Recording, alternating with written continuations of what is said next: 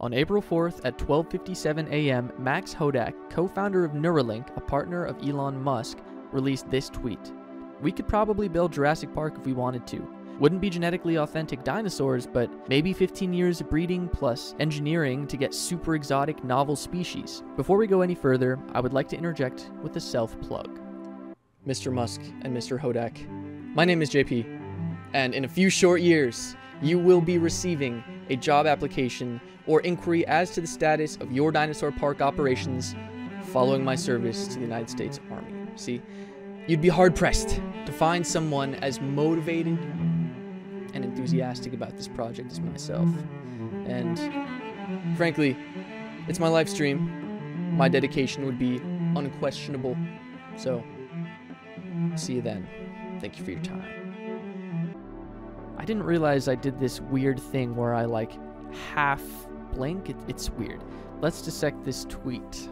I am pleased to inform you that this is not just sensationalism. Max Hodak understands how we can build Jurassic Park using today's technology, and I am so genuinely excited that such an ambitious, innovative, and well funded company at least has dinosaurs floating around in the idea space. Quick rundown of Neuralink. Neuralink is a neurotechnology company founded by Elon Musk and eight other partners, including Max Hodak, based in San Francisco. In 2020, the company informed the world that they were able to monitor the brainwaves of a pig as it ate using a neural chip embedded in the animal's brain. Elon Musk also claims that the company created technology that enabled this monkey to play Pong using its brain. Though the validity of these claims is not peer reviewed, if this is real, monkey. it is truly groundbreaking. In summary, Neuralink could lead the way into a new age of humanity where neurotechnology is an everyday part of our lives. I have to point out that Mr. Hodak's tweet does not specify who we is, so it's very possible that he isn't talking about Neuralink or any of Elon Musk's other companies, but rather about humanity in general. If this is the case, gentlemen, then you should expect to see me in front of a board requesting funding for this dinosaur project in a few years' time. Also, notice that the tweet doesn't mention anything about reviving extinct dinosaurs, something this CNET article got very wrong. This is because the world is already populated by an abundance of dinosaurs. You guessed it, dinosaurs of the avian variety. We can't bring back what Mr. Hodak calls genetically authentic dinosaurs because no DNA survived the 65 million years between us and the last dinosaurs. Mr. Hodak is referring to the genetic modification of existing dinosaurs, both by selective breeding and direct gene editing, to produce animals that, at the very least, resemble dinosaurs of the past. For a visual representation of what this would probably look like, go check out Dragons of Wales' Novosaurs on Instagram and buy their book on Etsy.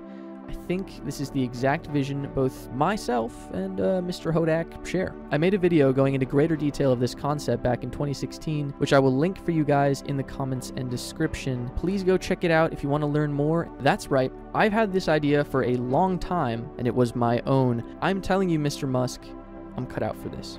See, this is the way we can educate everyone on the planet about the wonders of evolution. All we have to do, all we have to do, is show them dinosaurs. Right, like that's a small task. I can't really think of a better way to get the attention of even the most skeptical people, though. When I lead a company producing Novosaurs, the first 100 people on my Dino Nerds Discord server get immediate hiring preference, so go join.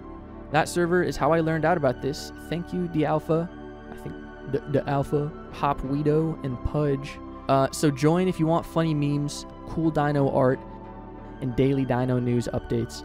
Also, continue signing up to be a part of my Minecraft Jurassic Park world. I really need help bringing Jurassic Park to life, at least in Minecraft. Uh, so the link is in the description comments. Go check it out. In all seriousness, I don't think I've ever been more excited about something as simple as a tweet in my life, and I don't usually get excited about tweets. Twitter seems to be the burial ground of free thought. What Max Hodak casually wrote about, probably from bed at 12:57 in the morning, is my life's dream, and honestly, I feel motivated to pursue it. So here's to a future that we share with our very own non-avian dinosaurs. Ugly little bastards. As always, thank you for watching. Remember to keep an open mind, and I'll see you next time.